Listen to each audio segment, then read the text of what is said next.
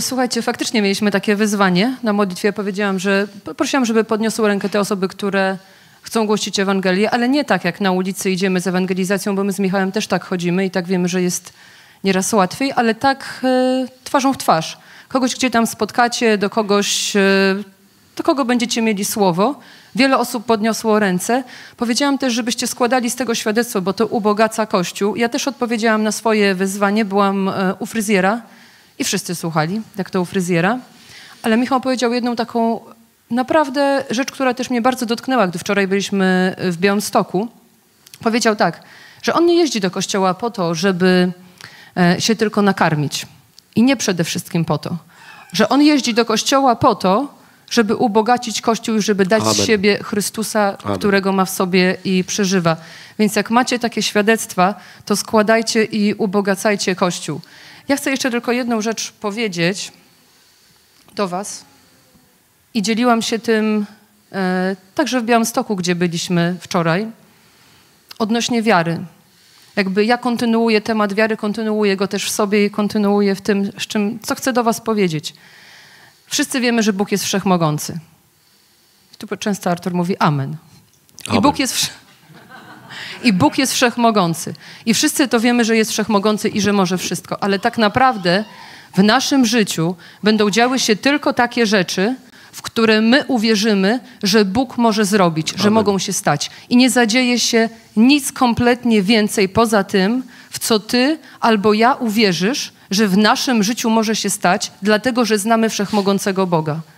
Możecie nawet wierzyć w to, że Bóg jest wszechmogący i mówić, tak, jest wszechmogący. Niesamowite rzeczy się dzieją przez tego Boga.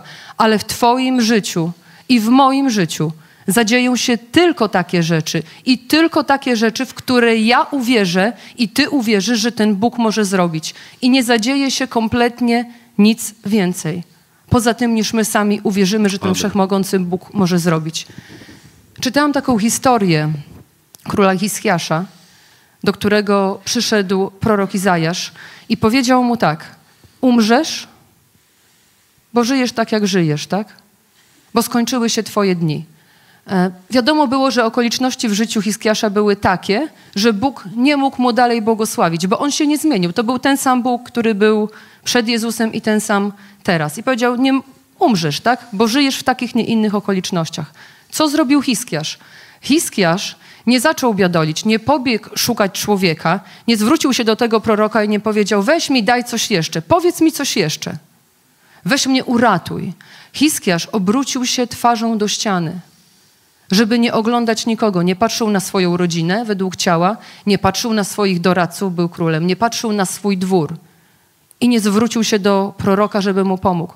Obrócił się twarzą do ściany i zaczął modlić się do Boga. Co on widział, patrząc na tę ścianę? Tylko Boga widział. Nikogo więcej nie widział. I z głębi swojego serca zaczął wołać do Niego. Przypominał mu całe swoje życie, które miał wcześniej. Mówił: Byłem wierny w swoim sercu, myślałem słusznie. Uwolnił swoją wiarę we wszechmogącego Boga. Uwierzył w to, że ten Bóg, choć przyszło takie do niego słowo, ma moc odwrócić w jego życiu to, co przyszło. I nie zdążył Izajasz opuścić dziedzińca jego pałacu, jak Bóg go zawrócił i powiedział do niego: Wrócisz do tego człowieka i powiesz mu, że dodaje ci 15 lat do twojego życia. Zobaczcie, ruszył to swoją wiarą. Uwierzył, że w jego życiu ten wszechmogący Bóg może coś takiego uczynić, że on nie umrze.